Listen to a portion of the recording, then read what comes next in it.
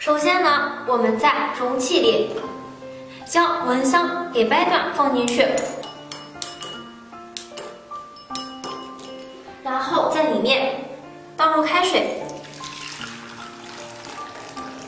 将它浸泡二十分钟。浸泡完成之后呢，我们拿出一个木棍，将蚊香给捣碎，然后就可以看一下它的妙用啦。妙用一，我们可以将它放旁边，起到了一个驱蚊的作用。因为呢，现在气温越来越高，是蚊子大量繁殖的时候了。很多朋友都会点上蚊香，但是呢，气味还觉得自己受不了。这个时候，我们将它泡进清水里，也可以达到驱蚊的目的，而且呢，不会散发出很刺鼻的气味。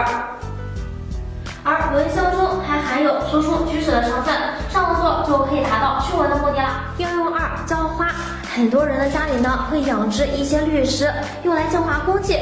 这个时候呢，我们就可以用蚊香泡过的水进行喷洒花草了。因为蚊香里面含有一种叫做氨基甲酸酯的成分，可以。给我们的植物提供充足的养分，使它们能够茁壮成长，而且呢，叶子会变得绿油油的。妙用三，我们可以将它倒进下水道里。我们都知道下水道很大的一个问题就是非常容易反味儿，而且呢，里面时不时的也会有小飞虫的出现。这个时候，我们就可以在蚊香水中滴入几滴风油精，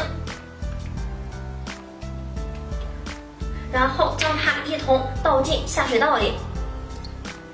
风油精中的香精成分可以很好的去除里面的异味，而蚊香水呢，可以有效的杀死小飞虫的卵，让它们不再滋生。如果大家家里的下水道遇见了这样的问题，不妨来试试看哦。只需要倒进一碗它，保证整个夏天不会再出现反味和小飞虫的情况啦。